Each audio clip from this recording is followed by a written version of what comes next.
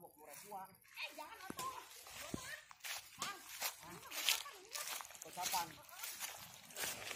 kocapan mate di pasar. Kocapan udah gampang karena kembang dulu. Terus kita hitung berapa harganya oke? Ketahuan ya.